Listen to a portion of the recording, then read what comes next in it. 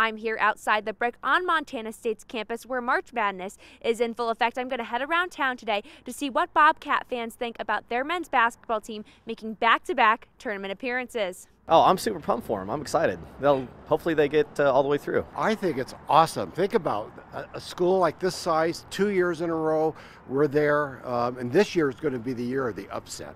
So excited. I mean, we've been waiting our whole lives for this, and now we're on top again. We're yeah, like he said, we're just super excited. Uh, I mean, I'm pretty excited, but I don't know if I'm going to watch the game. Very excited. It's it's it, they're gonna they're gonna they're gonna go to the next round.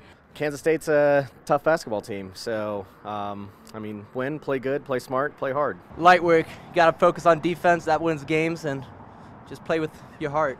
I'm feeling really confident about the upset. I mean, I'd love to be optimistic about it, but not really. No.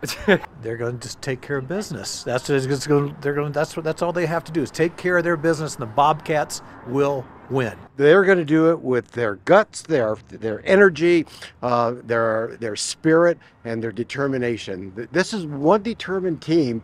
Um, I really do believe that there's a good possibility. You know, they're they they're 14th in terms of placement in the in the big dance, and uh, there's kind of a history of the 14th place teams doing big upsets. So this is the year for MSU.